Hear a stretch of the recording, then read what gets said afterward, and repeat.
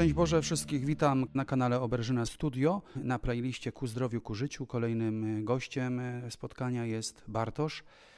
Y, Szczęść Boże, Panie Bartoszu. Szczęść Boże, proszę księdza. Witam i takie pytanie no, standardowe, pytanie jak to się stało, że się spotkaliśmy, e, mm, jakie okoliczności tutaj były, jak to, jak to się wydarzyło? Okoliczności były takie, że miałem wypadek, tak? Jechałem rowerem i po prostu uderzyłem w samochód, a to, że cię tu znalazłem, to nie wiem, przemiana duchowa, wewnętrzna, po prostu tak miałem, tak, że miałem potrzebę pójścia, pomodlenia się, a już czułem tak, że muszę tu iść, a mogłem pójść po prostu, nie wiem, za 2-3 tygodnie, jakbym wchodził, tak? Yy, ale chciałem tu pójść do kaplicy, akurat wiedziałem, że ksiądz to odprawia, więc Byłem na reumatologii, tak? I ja wtedy, pierwsze nasze spotkanie. Pan Bartosz miał koszulkę pogoni, dalej, no. dalej jest, jest i, i, i no i co jest? Napis 9 lat tam z tyłu jest napis. Jest napis, tak, tak. I co było motywem, żeby przyjść na mszę świętą? Znaczy motywem to, jak już mówiłem, no, znaczy nie wiem, czy przemiana wewnętrzna, duchowa, ale tak po prostu czułem, po prostu odczuwałem potrzebę, że muszę być fizycznie tutaj, a nie, nie pan, dużo gadać, a nic nie robić. Ja już chcę, mówię, zmienić coś w swoim życiu, e, proszę księdza, no bo, no. Aha, bo za, za długo, za długa była ta przerwa, za długa była przerwa. Chodziłem do kościoła, mówię, byłem lektorem, byłem ministrantem, kupę lat chodziłem po kolenach, więc tutaj całą okolicę, znaczy, znaczy tam mam z świętego Kazimierza, więc znam, tak, gdzie te tereny się chodziło, więc mówię, no.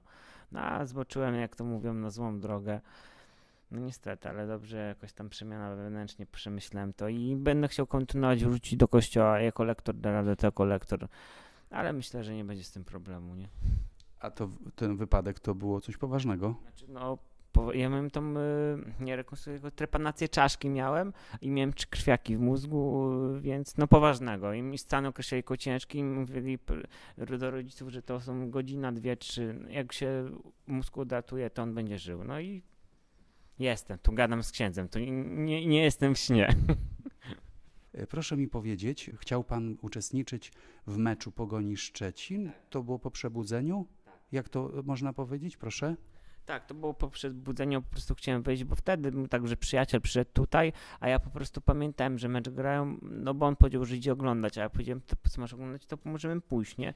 A on powiedział, że nie ma biletu, a powiedziałem, no to przecież pójdziemy. Ja się zerwałem z łóżka, wstałem, zacząłem z, z siebie zrywać całe to, przy- no co byłem podłączony, później mnie przypięli pasami do łóżka i powiedzieli, że nigdzie się nie ruszam i uśpili mnie farmakologicznie drugi raz, czyli byłem tydzień uśpiony, a wcześniej byłem no prawie, mówię, dwa tygodnie, w sumie trzy tygodnie byłem śpiące, ale farmakologicznie, ja przytomność straciłem od razu, znaczy po wypadku, nie, ale uśpiony byłem tylko fa- farmakologicznie, no bo jakbym nie był, to bym pewnie się nigdy nie obudził, no to mówię, no cud, że tu jestem w ogóle, cieszę się, bo mówię, wcześniej tak nie dostrzegałem tego, ale mówię, po przemyśleniach wewnętrznych, głębszych, to tak mówię, to jednak jednak Bóg jest, tak? I mówię, że, no, że jest o co się pomodlić, tak? O to życie. I dziękuję Bogu, że, że, że jestem. Bo mówię, bo nic się dwa razy nie zdarza, już następnej szansy może nie być. No i to, y, to także kibic Pogoni Szczecin uratowany, może dalej kibicować, ale Pan Bóg, Pan Bóg tutaj y, niech ratuje y, Pana Bartosza i niech te pragnienia, mm, żeby rozpocząć nowy etap życia, y, żeby się to realizowało i życzę, żeby do zdrowia dochodzić i, i uzbroić się w cierpliwość. Jest ta cierpliwość, bo widać, jest ta determinacja. Trudność z chodzeniem jest. Ja mogłem palcami, nie mogłem ruszać niczym, nie mogłem stopą niczym, ale musiałem chodzić tak, na tę relację mówiłem, pewnie jak tu pójdziesz, to się zmobilizuje, nie to, że będziesz się płetrzał w sufit, masz chodzić, tak? To mnie nikt nie brał, ja musiałem chodzić sam, to nie byłem jakoś o czasie, znaczy czasu nie miałem, ale wszy- wszystko sobie sam ustałem, tak po prostu, zabiegi, wszystko, to oni mi ustali, ale musiałem tam się stawiać, chodzić, czy o kuli, czy o wózku, ale chodziłem, tak? Byłem po prostu jakby konsekwentny i tyle.